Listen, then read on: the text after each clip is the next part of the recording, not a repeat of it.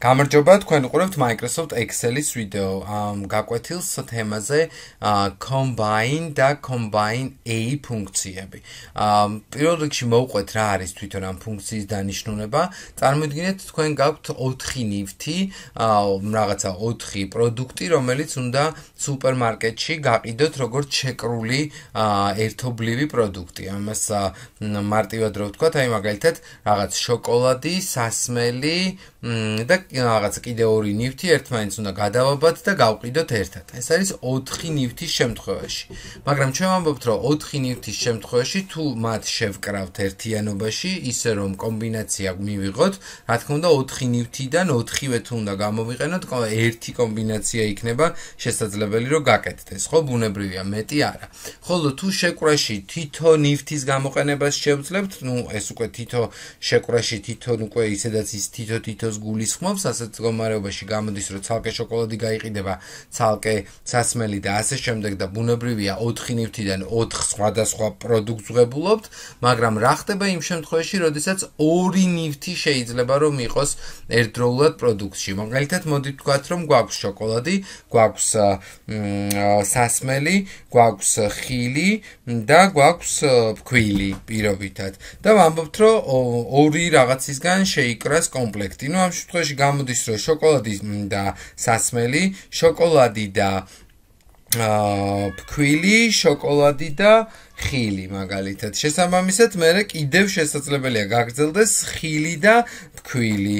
აა ფქვილი და შოკოლადი თუ გქონდა, მაშინ ფქვილი და სასმელი და ასე შემდეგ. მოკლედ, ყველა შესაძლო კომბინაცია და ამას თვითონ ფორმულა დაგვითვლის და მოდით ნახოთ და გავარჩიოთ როგორ გამოიყურება ეს ფორმულა.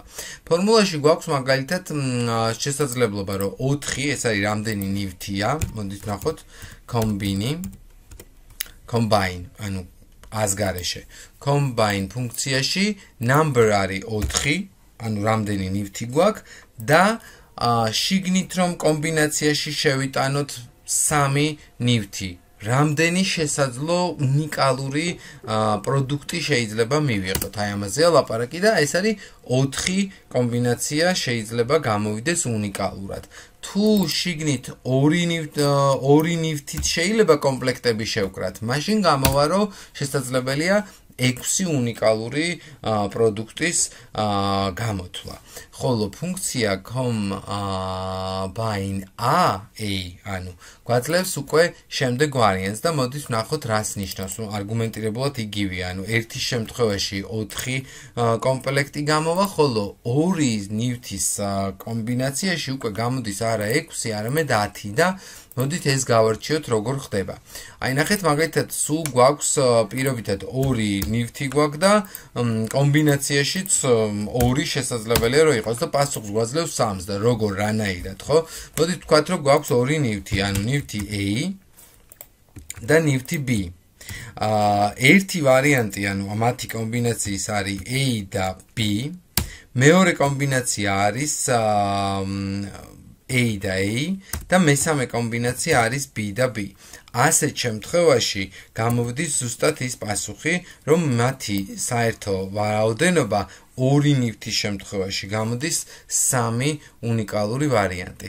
ხოლო აი ამ პირველი ვარიანტის შემთხვევაში, როდესაც 2 და 2 გვაქვს, ხო? კომბინაცია გამოდის მხოლოდ ერთი, ანუ ეს A და B გინდა ესე დასვი, გინდა ესე დასვი, ერთი და იგივეა.